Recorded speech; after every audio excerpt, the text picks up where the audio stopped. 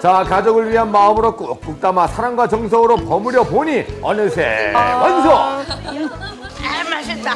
최고입니다. 최고.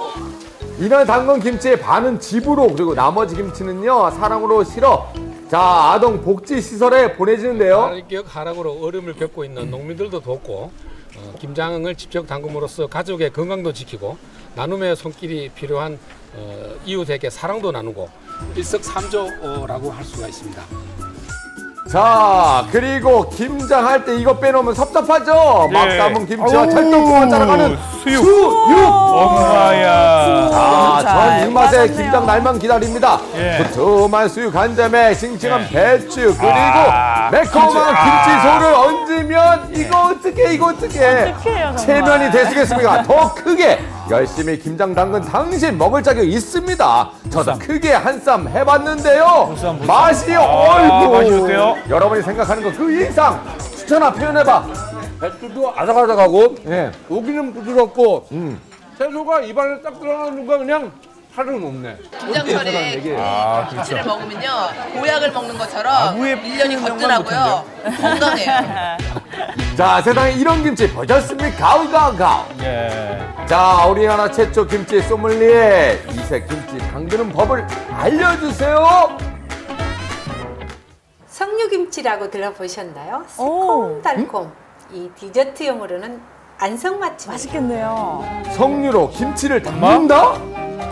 먼저 석류와 배를 믹서에 갈아 사과 그릇에 넣어놓고요. 싱싱한 배추와 함께 각종 과일과 석류를 올리면 석류 물김치 완성! 아, 이게 김치예요? 그렇습니다. 오. 정말 예쁜데요.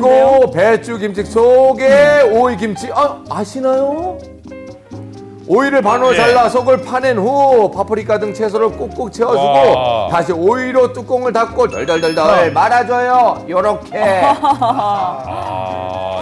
자 배추 안에 오이 있다. 오이 보쌈 김치. 아니 그런데 예쁘네요. 이건 또 무슨 이거는 김치일까요? 오징어, 오징어. 외국인들도 쉽게 즐겨 드실 수 있는 퓨전 요리 파 샐러드.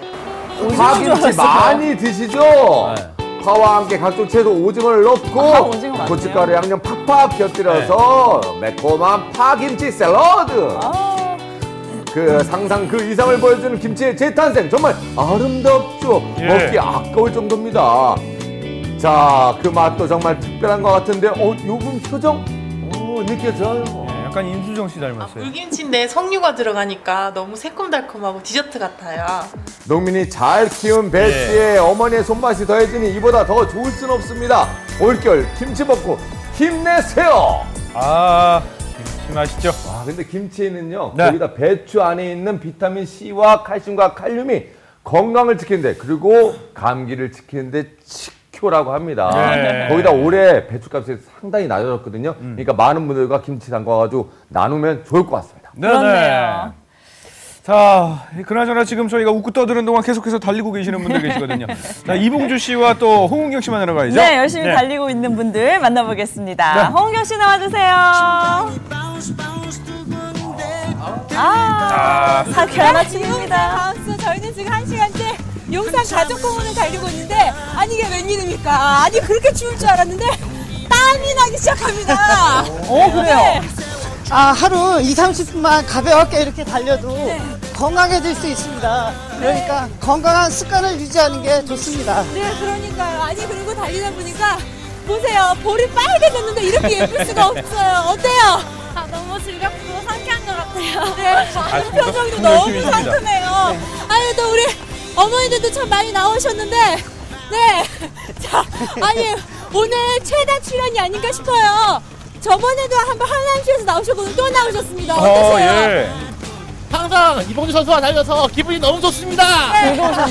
이봉주 bounce를 정말 사랑하셔서 네. 여기저기 홍보도 참 많이 하시더라고요. 맞습니다. 이렇게 이봉주 선수의 bounce를 사랑해 주신 분이 점점 늘어나고 있는데 저희가 목요일마다 정말 건강하고 멋진 분들을 많이 만났어요. 네, 맞습니다. 근데 아쉽게도 오늘이 마지막입니다. 네, 이제 이 시간이면 마지막인데 운동 멈추지 마시고 꾸준하게 달리시면서 건강 관리 잘 해주셨으면 좋겠습니다. 네, 그동안 사랑해 주셔서 감사하고요. 달리면서 이봉 선수가 하나하나 콧노래 부르셨는데 그게 좀 그리울 것 같기도 하고요.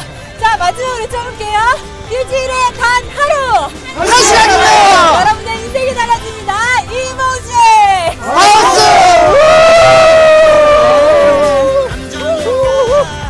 네, 그동안 수고 많으셨습니다. 이렇게 날씨 추워질수록 간단한 운동으로 건강 챙기시고요. 저희는 내일 아침에 다시 찾아오겠습니다 감사합니다. 고맙습니다.